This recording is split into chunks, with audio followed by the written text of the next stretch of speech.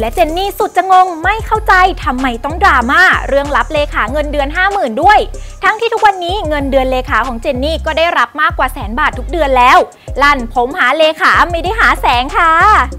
เรียกได้ว่ามีดราม่าให้เมาส์ฉ่ำตามได้ทุกวันจริง ๆ ค่ะคุณผู้ชมสำหรับคู่สามีภรรยาเจนนี่ได้หมดท่าสดชื่น และสามียิวฉัดมงคล ที่ออกมาโพสต์ประกาศรับสมัครเลขาส่วนตัว เงินเดือนเริ่มต้น 50,000 บาท โดยหนุ่มยิวระบุว่า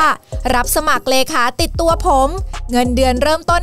50,000 กินฟรีอยู่ฟรีในกรุงเทพ ทักมาเลย ผมจะพิจารณาด้วยตัวเองเป็นรายคน งานเลขาผู้บริหาร ถ้ายังไม่รู้ว่าต้องส่งรายละเอียดอะไรมา ก็แปลว่าไม่ผ่านแล้วตั้งแต่แรกครับ ไม่ต้องงง แถมยังกล่าวเสริมว่า เงินเดือนที่เราได้มาจากความสามารถเราทั้งนั้น ถ้าผมดูแล้วเก่งจริง เป็นแสนก็สบายมากครับ ซึ่งก่อนหน้านี้มีแย้มคุณสมบัติเลขาส่วนตัวไว้เล็กน้อย โดยบอกว่าเวลาการทำงานยืดหยุ่นมากๆ ดูแลผมคนเดียว ถ้าเป็นชายหรือ LGBTQ จะดีมาก เพราะว่าเมียหึงผู้หญิง แต่ผู้หญิงก็ได้ถ้าเก่งจริง ใครมีความสามารถอะไรใส่เรซูเม่แล้วส่งมาให้ในแชทเลยครับ ผมพิจารณาด้วยตัวเอง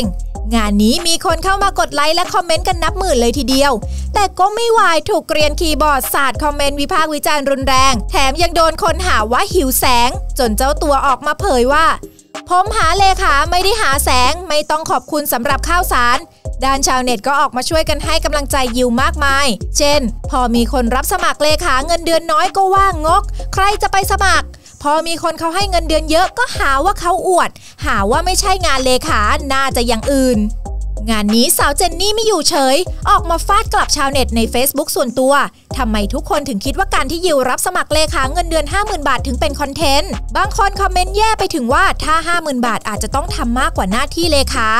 ทุกวันนี้เลขาของเจนนี่เงินเดือน 40,000 บาท ค่าคอมสตาร์ทที่ 10,000 บาทจนถึงแสนกว่าทุกเดือน งานเลขาไม่ใช่งานง่าย ๆ ต้องเก่งหลายด้าน ความจำต้องมี สื่อสารต้องเก่ง โซเชียลก็ต้องเข้าถึง ตัดต่อก็ต้องมีความรู้อยู่บ้าง แถมยังต้องตัวติดผู้บริหารตลอด และต้องสแตนบายตลอดเวลา จริง ๆ 50,000 อาจจะน้อยไปด้วยซ้ำสำหรับความสามารถของบางคน ไม่เห็นจะต้องมีดราม่าเลยค่ะ และการที่ยิวรับสมัครทั้งผู้ชายและ LGBTQ เพราะความสามารถไม่จำเป็นต้องจำกัดเพศสภาพ และเขารู้ดีว่าถ้ารับผู้หญิงมา อาจจะมีดราม่าตามมาทีหลัง หนูว่าเขาก็รอบคอบดีนะ แต่ทำไมถึงยังมีดราม่าส่วนคนที่เป็นห่วงสุขภาพจิตของสาวเจนนี่ที่มีดราม่าไม่เว้นวัน สาวเจนนี่ก็ออกมาตอบกลับว่า ทุกคนไม่ต้องห่วงนะคะ ว่าหนูจะไม่ปงหรือไม่เข้าใจ หนูแค่อยากโพสต์ในสิ่งที่หนูอยากโพสต์แค่นั้นเอง เพราะคนอย่างหนูไม่มีดราม่าไหนเอาหนูลงได้หรอกค่ะ เรื่องแค่นี้จิบจิบมาก ล่าสุดหนุ่มยิวก็ออกมาโพสต์ว่ายังไม่ได้เลขา โดยระบุว่าสำหรับเลขานะครับ ตอนนี้ยังไม่ได้ LGBTQ ที่เข้าตา และมีผู้หญิงเก่งๆ สมัครมาเยอะ แต่ยังไม่ได้ตัดสินใจ